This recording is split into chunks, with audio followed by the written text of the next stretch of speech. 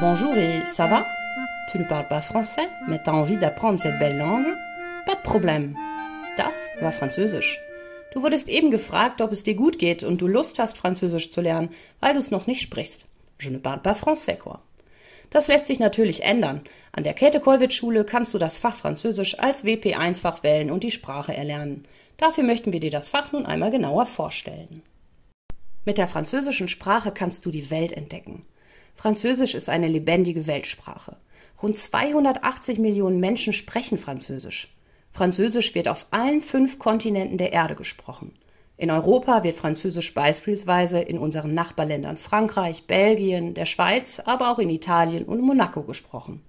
Es gibt also genügend Möglichkeiten, mit anderen in dieser wunderbaren Sprache zu sprechen.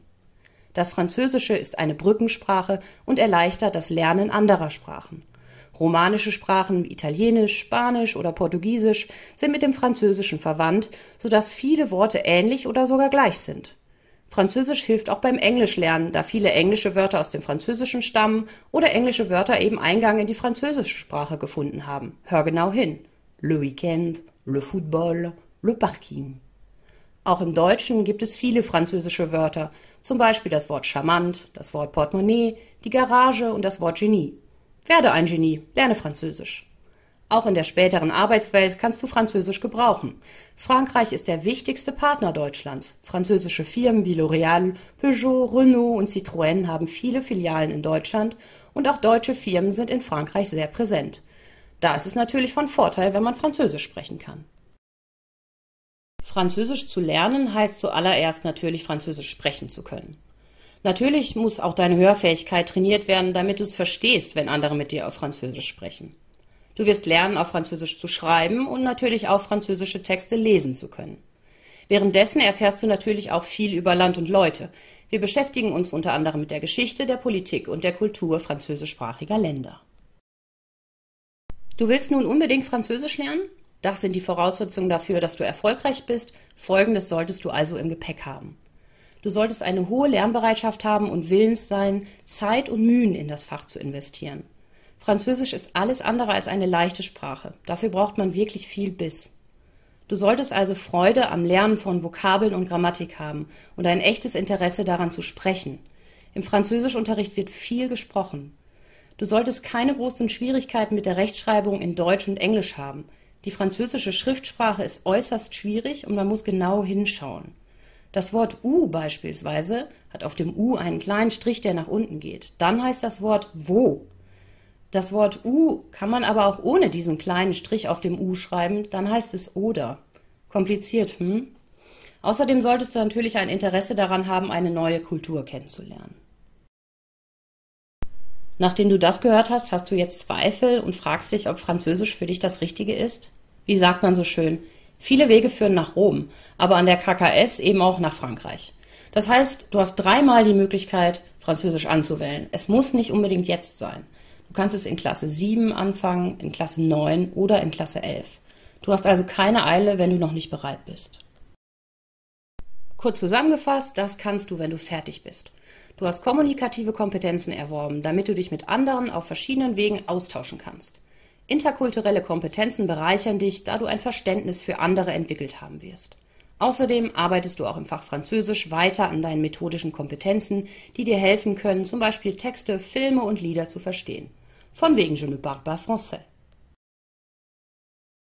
Okay, du kannst das jetzt alles, aber was bringt dir das? Erstmal ist es doch schon toll, dass du diese klangvolle Sprache sprechen kannst. Machst du Urlaub in einem französischen Land, wirst du dir ein leckeres Croissant eben bestellen können, anstatt nur davon zu träumen. Auch für das Abitur brauchst du neben Englisch eine weitere Fremdsprache, die an der KKS Französisch oder eben Latein sein kann. Und zu guter Letzt mit all diesen erworbenen Fähigkeiten bist du auf dem Arbeitsmarkt der Renner, weil du neben der Weltsprache Englisch auch noch die Weltsprache Französisch sprichst und mit 280 Millionen SprecherInnen in Kontakt treten kannst, um deine Firma zufriedenzustellen. Salvete discipuli et discipulae. Est presentatio lingue latine. Warum solltest du Latein wählen? Dafür gibt es gute Gründe. Drei will ich dir nennen. Erstens. Auch wenn ich euch lateinisch begrüße, so sprechen wir doch Deutsch im Unterricht. Lateinisch ist die Sprache der Römer. Die Römer kennst du aus dem Geschichtsunterricht. Daher fangen im Lateinunterricht alle Schülerinnen bei Null an. Kein Schüler und keine Schülerin hat einen Vorteil, weil vielleicht zu Hause Latein gesprochen wird. Zweitens. Wir arbeiten im Unterricht an Texten. Wir achten auf jeden Buchstaben. Wir fördern nicht nur die lateinische, sondern auch die deutsche Sprache. Das langsame und genaue Arbeiten an Texten schult das analytische Arbeiten und das sorgfältige Umgehen mit Texten auch in anderen Fächern. Hier lernst du Geduld, Ausdauer und Genauigkeit. Drittens. Wir sind umgeben von antiken Zeugnissen. Die römische Kultur ist mit uns allen verwandt. Sie verbindet uns von Istanbul bis Köln, von Paris bis Dubrovnik. Die Menschen in Europa beziehen sich immer wieder auf die Antike und ihre Mythen und Erzählungen. Denk doch nur mal an Star Wars und das Imperium. Oder Percy Jackson, der Sohn des Poseidon. Zunächst erscheint uns die römische Kultur sehr alt und fern, aber in vielem verbindet sie uns mit den Ländern rund um das Mittelmeer. Wie unterrichten wir Latein? Was lernst du in Latein? Latein ist für dich dann die zweite Fremdsprache. Englisch hast du ja schon kennengelernt. Wusstest du, dass 80 Prozent des englischen Wortschatzes aus dem Lateinischen stammt. To expect heißt warten und kommt von expectare. Krass, oder? Krass kommt übrigens von crassus und das heißt dick und fett. Du lernst das römische Leben und die lateinische Sprache kennen. Systematisch erarbeiten wir uns die lateinische Grammatik, um Texte lesen, übersetzen und verstehen zu können. Den 75 Minuten Stunden begegnen wir mit vielen aktiven Anteilen im Unterricht. Wusstest du, dass man Grammatik auch klopfen oder tanzen kann? An Thementagen sind wir meistens unterwegs nach Köln und machen Geocaching an der römischen Stadtmauer oder kochen römisch. Latein ist ein Fach für alle Schülerinnen. Es richtet sich nicht nur an zukünftige Abiturientinnen. Arbeitgeber schätzen unser Fach sehr, da es so systematisch ist, Rechtschreibfehler angeht und die Deutschkompetenz erhöht. Das kann nun wirklich jeder gebrauchen, oder? Hier siehst du die Ausdehnung des römischen Reiches. Istanbul hieß damals Konstantinopel. Mein römischer Lieblingsdichter Ovid lebte lange im heutigen Bulgarien am Schwarzen Meer. Auch im heutigen Kroatien, in Belgien, Frankreich und Spanien, in Nordafrika waren die Römer unterwegs und wir finden noch heute Spuren von ihnen. Woher stammt das türkische Bad? Das Hammam ist den Thermen der Römer sehr ähnlich. Unser Kalender stammt von Julius Caesar. Nach ihm ist der Monat Juli benannt. Einmal im Jahr fahren wir zu den Spuren der Römer, nach Trier, Xanten oder an die römische Wasserleitung in der Eifel, das größte römische Bauwerk nördlich der Alpen. Auch den Germanen hat das fließende Wasser in Häusern aus Stein sehr gut gefallen. Ein Drittel des Faches liegt im Bereich der Geschichte, zwei Drittel liegen im Bereich der Sprache das wirkt sich oft positiv auf die Noten aus. Latein kannst du nur im siebten Jahrgang wählen. Warum es dir unsere Schülerinnen sehr empfehlen? Hör genau hin. Mir macht Latein Spaß, wenn man viel über die Geschichte der Römer erfährt und weil man viele Texte übersetzt in kleineren Gruppen und sie dann am Ende der Stunde in der ganzen Klasse halt zusammenträgt die Vokabeln sind beim Lateinlernen das A und O. Du verbesserst damit deine deutsche Grammatik, weil es sehr mit der deutschen Grammatik ähnelt. Ich mag das Fach Latein, weil ich gerne etwas über die Sprache erfahre und auch gerne die Texte mit meinen Freunden übersetze. Im Lateinunterricht bist du richtig, wenn du dich für Geschichten aus der Römerzeit interessierst. Du das Tüfteln, Rätseln und Kombinieren schätzt du sicherer im Gebrauch der deutschen Sprache werden willst oder noch Probleme mit der deutschen und englischen Rechtschreibung hast. Am Ende der Jahrgangsstufe 10 hast du das kleine Latinum, also den Nachweis der zweiten Fremdsprache, erworben. Solltest du unsere Schule verlassen, hast du den Nachweis trotzdem erbracht. In der Oberstufe kannst du hier bei uns das Latinum erwerben, am Ende der Jahrgangsstufe 11 der Einführungsphase. Zur Belohnung reisen wir nach Rom. Bist du nach dem Sommer dabei? Valete et gratias vobis ago. Vielen Dank fürs Zuhören. Nun möchte ich Ihnen und euch das Fach Naturwissenschaften vorstellen. Dieses Fach ist ein Kombinationsfach aus Biologie, Chemie und Physik. Und das ist super interessant, denn wir beschäftigen uns mit ganz vielen Themen, die uns im Alltag begegnen und uns selbst etwas angehen. Unter anderem gucken wir uns zum Beispiel den Boden an. Wie ist er aufgebaut? Wie entstehen dessen verschiedene Schichten? Und welche Lebewesen sorgen eigentlich dafür, dass in diesem Boden immer wieder neue Pflanzen wachsen können? Auch die Fortbewegung ist ein spannender Themenbereich. Oder habt ihr euch nicht schon mal gefragt, wieso eine Schnecke eine Wand ohne Hilfsmittel hochkriechen kann und wir nicht? Warum ein tonnenschweres Flugzeug abhebt oder ein Containerschiff nicht untergeht? Viele dieser Prinzipien haben sich die Wissenschaftler aus der Natur abgeguckt und in die Technik umgesetzt. Natürlich haben die Naturwissenschaften auch ganz viel mit uns selbst zu tun. Wie erhalte ich zum Beispiel meine Gesundheit? Warum helfen mir Medikamente gegen Krankheiten? Und wie ernähre ich mich ausgewogen? Und all das, um Nachhaltigkeit und Klimaschutz in unserem Denken tiefer zu verankern, indem wir uns verdeutlichen, wie Landwirtschaft funktioniert, ohne dass Bauern ihre Tiere nur noch als Produktionsmaschinen nutzen oder Nahrungsmittel voller Pestizide stecken, die uns krank machen könnten. Diese und viele andere Themen lernst du im WP1-Fach Naturwissenschaften mit Hilfe von besonderen Methoden, die oft fächerübergreifend sind. Wir verbinden die Theorie mit der Praxis, indem wir Versuche nicht nur planen, sondern auch durchführen und auswerten. Denn Naturwissenschaftler sind neugierige Forscher, die immer wissen wollen, warum etwas so ist, wie es ist. Du arbeitest zum Beispiel mit Hilfe von Experimentierkästen, wie sie hier auf dem Bild zu sehen sind, an naturwissenschaftlichen Phänomenen, die dein Verständnis für die wissenschaftliche Denk- und Arbeitsweise vertiefen. Der Zusammenhang von Beobachtung, Versuchen, Theorie, Denkmodellen, Überprüfung und Statistiken wird von verschiedenen Seiten beleuchtet und durchdrungen weil wir zum Beispiel nicht nur fachwissenschaftliche Texte lesen, sondern auch Kartoffeln im Eimer selber anpflanzen oder einen Milchviehbetrieb besuchen. Und was bringt dir das Ganze? Du erlangst die Kompetenz, Aussagen zu naturwissenschaftlichen Themen in unserem Umfeld und in den Medien besser verstehen und einordnen zu können. Du bist in der Lage, mit anderen über Entwicklungen und Entscheidungen zu diskutieren und begründet dazu deine Meinung zu sagen. Der Naturwissenschaften und die damit verbundene Forschung und Anwendung ist ein wesentlicher Teil unserer Gesellschaft. Das hier gewonnene Wissen ist eine gute Allgemeinbildung für mündiges Mitwirken. Damit dich andere auch ernst nehmen.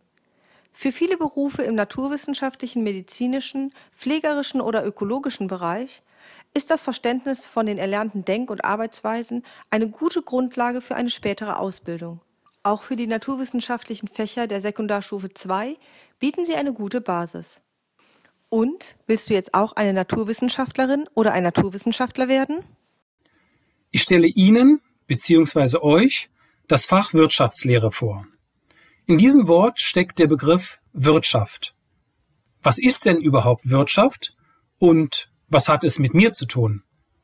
Wenn jemand beispielsweise mit seinem Beruf Geld verdient, wenn jemand mit einer Fabrik Waren herstellt oder wenn jemand im Laden etwas einkauft, das alles und noch mehr kann man unter dem Begriff Wirtschaft fassen. In dem Bild links sieht man eine Frau an einer Maschine arbeiten. Sie geht ihrem Beruf nach und verdient Geld. Geld, mit dem sie etwas bezahlen kann. Zum Beispiel die Miete ihrer Wohnung oder etwas kaufen kann. Zum Beispiel Lebensmittel oder andere schöne Dinge. Jetzt könnte man verschiedene Fragen stellen. Zum Beispiel, Warum kauft die Frau etwas? Wo kauft sie es? Womit bezahlt sie? Wer stellt die Waren überhaupt her?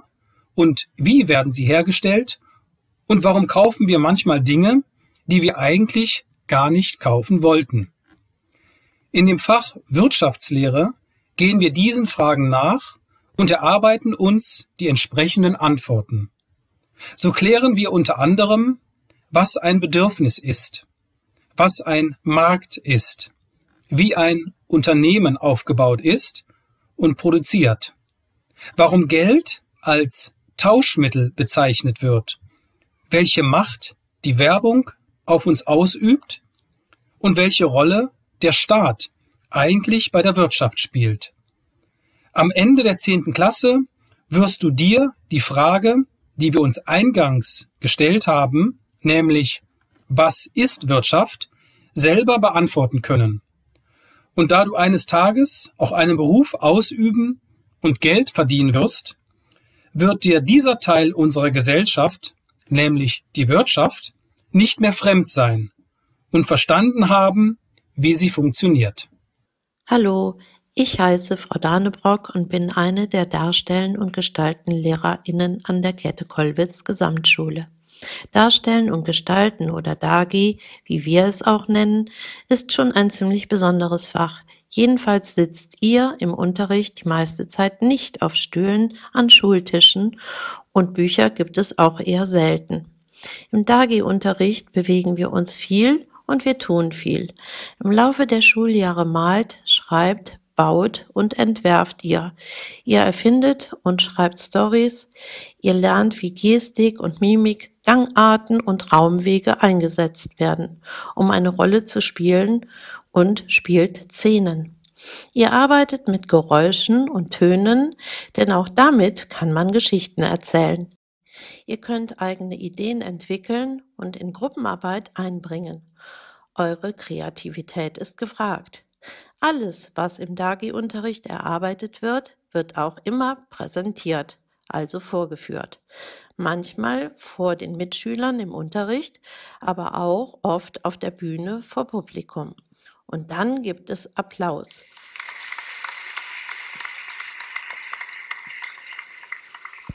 Bei Aufführungen und Präsentationen tragen alle SchülerInnen übrigens schwarze Bühnenkleidung. Das wirkt einfach besser. Tests und Arbeiten gibt es natürlich auch, genau wie in den anderen WP1-Fächern. Die Tests in DAGI-Unterricht haben fast immer einen schriftlichen theoretischen Teil und einen praktischen Teil.